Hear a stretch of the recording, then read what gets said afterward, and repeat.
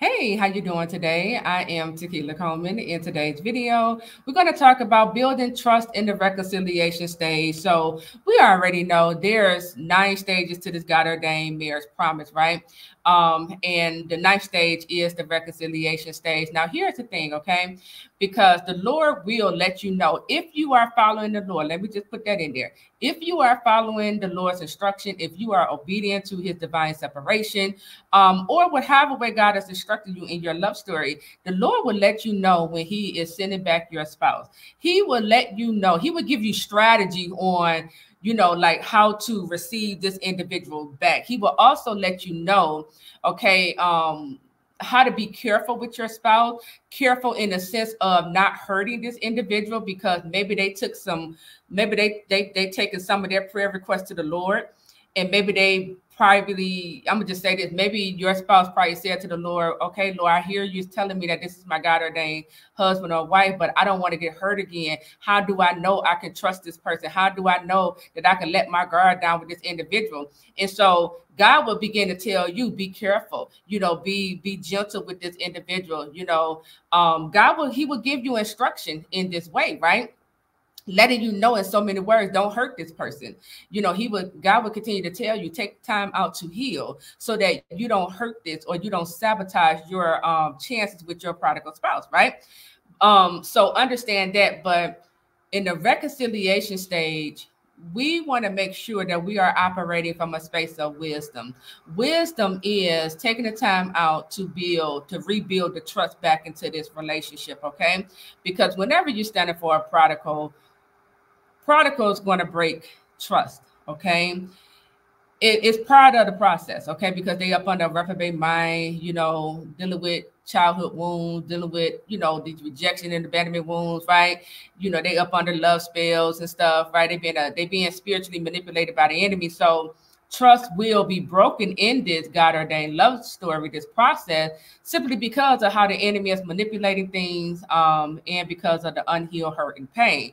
So this is why we want to make sure that we're not quick, you know, to just be open up doors, you know, to the product. We're not quick to just let this person all the way into your life. You know, think about Joseph in the Bible after his brothers betrayed him, right? You know, once Joseph realized that these were his brothers, um, who were coming over there, you know, trying to buy the food over in Egypt, he didn't he didn't immediately reveal himself right? He began to test them, right? He began to test them to see where their heart was at, right? And and and after the test, that's when he revealed, you know, that he's Joseph, their brother, right?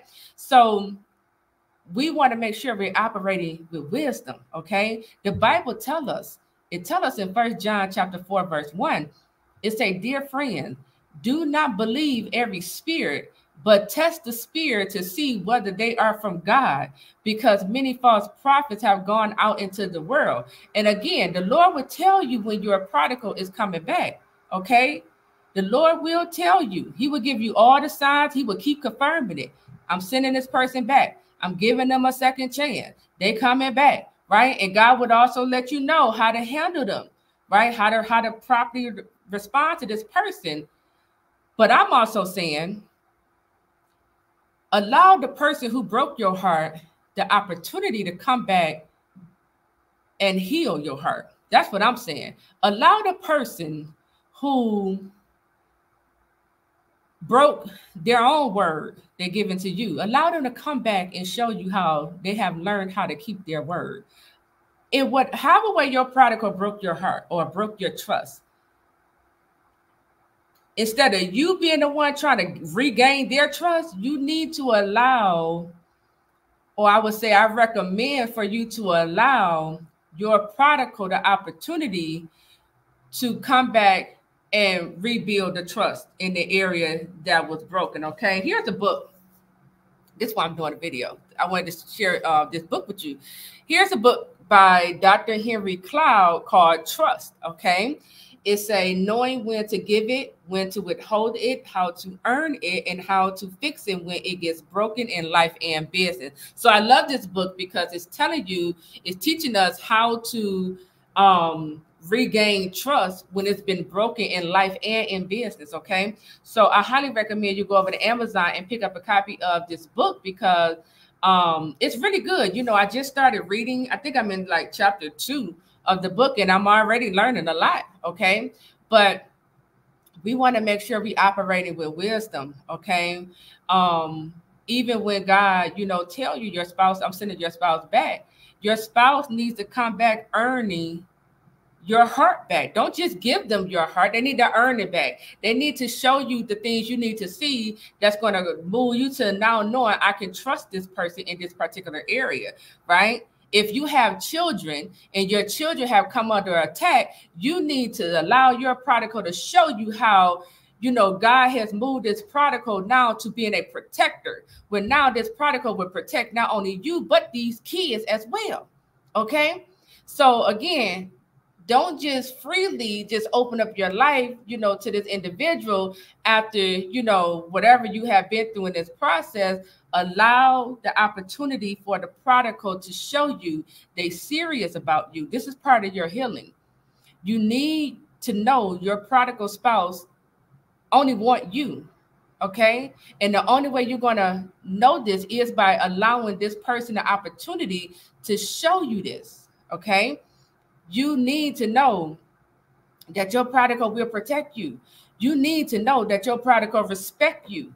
You need to know these things. This is how trust is is is rebuilt right? By giving the person who broke the trust the opportunity to regain our trust.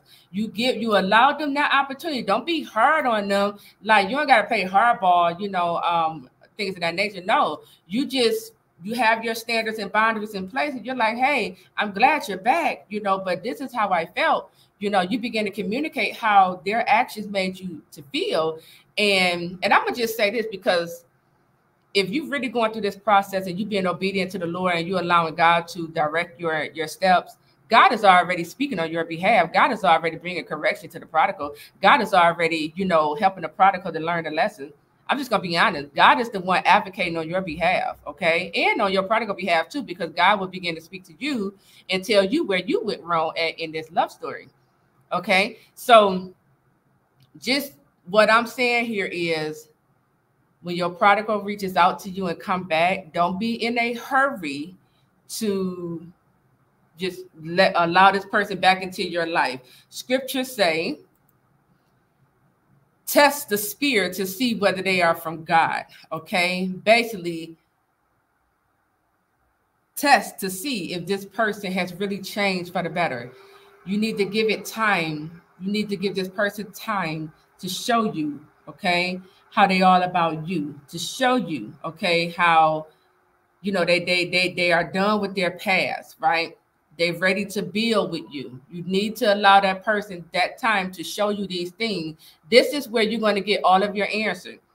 All of that confusion all of that double-minded well, i don't know Taquila i just don't know. All of that goes away when you allow the prodigal time to show you how they really feel about you okay?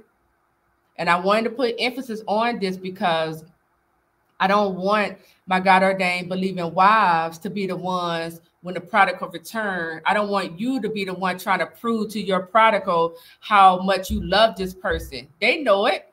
They see how you standing. They see you covering them in prayer, right? They already know you got love for them. They already know this, right? So I don't want you to be the one putting yourself in this position where you just going all out, right? And you're the one getting your heart broken. No, learn how to sit back and allow your prodigal to show you how they feel about you. Allow your prodigal to show you how you are the only one they want to do life with. Allow your prodigal to show you that they are willing to protect you. Okay. The same way you protected them in prayer, allow your prodigal to show you the same thing. Just sit on back and, and just, you know, receive it. Okay. So with that, I am Taquila Coleman. I'll talk to you real soon. Take care.